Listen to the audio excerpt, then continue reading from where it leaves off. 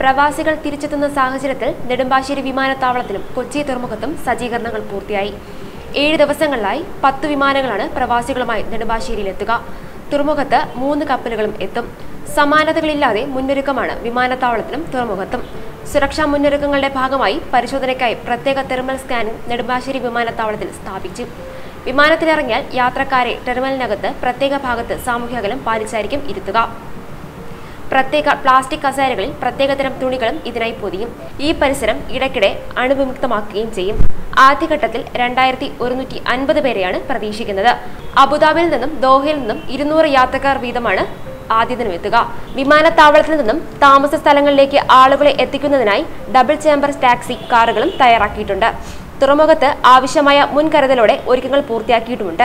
മാലദ്വീപിൽ നിന്നും രണ്ട് ദുബായിൽ നിന്നും രണ്ട് കപ്പലുകളും കൊച്ചിയിൽ എത്തും. ആരോഗ്യ പ്രവർത്തകർക്കും ജീവനക്കാർക്കും രോഗബാധ ഒഴിവാക്കാനുള്ള നടപടികൾ ആരോഗ്യവകുപ്പ് മുൻകൂട്ടി സ്വീകരിച്ചിട്ടുണ്ട്. വിദേശത്തു നിന്നും എത്തുന്നവരുമായുള്ള ആദ്യഘട്ട സമ്പർക്കം പരമാവധി കുറയ്ക്കുന്നതിനാവശ്യമായ നടപടികളും സ്വീകരിച്ചിട്ടുണ്ട്.